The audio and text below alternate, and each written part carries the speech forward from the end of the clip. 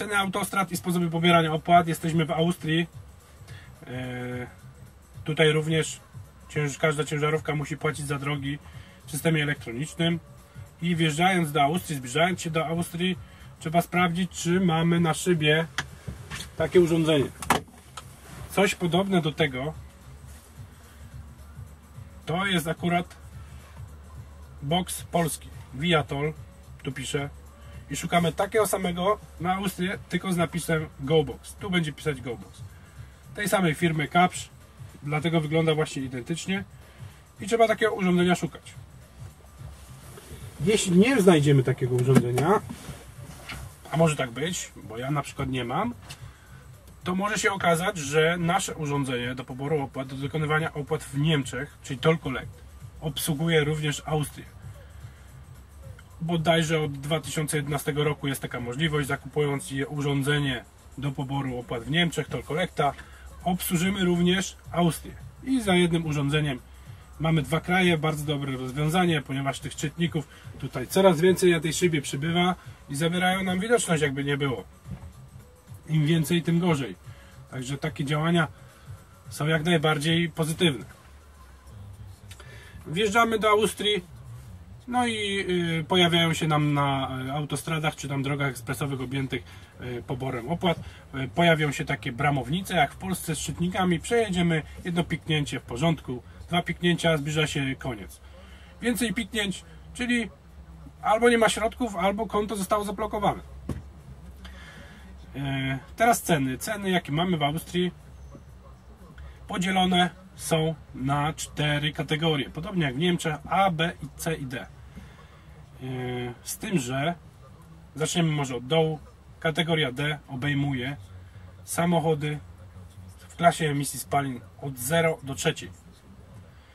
Kategoria C, czyli przedostatnia, obejmuje samochody Euro 4 i Euro 5. Euro 5, jakby nie było, obowiązuje od 2009 roku, czyli na dobrą sprawę możemy mieć całkiem młodą ciężarówkę i znajdziemy się na przedostatnim miejscu w tej, w tym, w tej kategorii naliczania opłat. Yy, Mamy jeszcze kategorię B, obejmuje silniki EEV i kategoria A obejmuje klasę emisji spalin Euro 6, czyli tą najnowszą, prawdopodobnie najnowsze, jedne z najnowszych ciężarówek.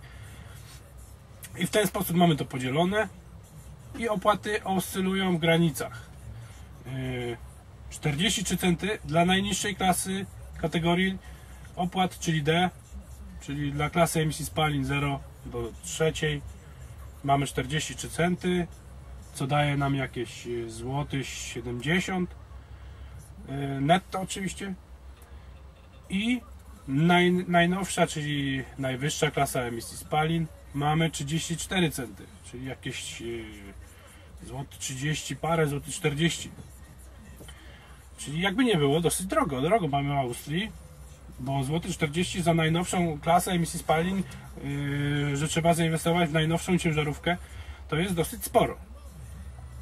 Ale to nie wszystko, yy, ponieważ w Austrii mamy yy, również yy, niektóre odcinki autostrad objęte specjalną taryfą. I tak, na przykład yy, jadąc z Innsbrucku na Brennero, mamy tam A13 i to jest 35 km drogi. Jadąc tą drogą, normalnie sobie w dzień zapłacimy za 35 km najnowszą klasą emisji spalin, czyli Euro 6, najnowszą ciężarówką. Za 35 km zapłacimy 51 euro, czyli 1,5 euro za kilometr wyjdzie. Ale to nie wszystko, bo jadąc tą samą trasą, tą samą ciężarówką, czyli najnowszą ciężarówką, Euro 6, w nocy zapłacimy razy dwa, czyli za 35 km jadąc w nocy zapłacimy najnowszą klasę emisji spalin. Ponad 100 euro, 103 euro bodajże za 35 km, czyli ponad 3 euro za kilometr nam wyjdzie. 3 euro, dobrze mówię? No jakoś tak. 3 euro około za kilometr. Czyli jak widać bardzo drogo bardzo drogo w szczególności w nocy. Co tu więcej o Austrii? No cóż, trzeba się po prostu pilnować. W tym kraju trzeba być bardzo ostrożnym. Yy, Przypilnować sobie sprzęt, czy mamy wszystko w porządku, tip top. Jednak yy, Austriacy są bardzo skrupulatni.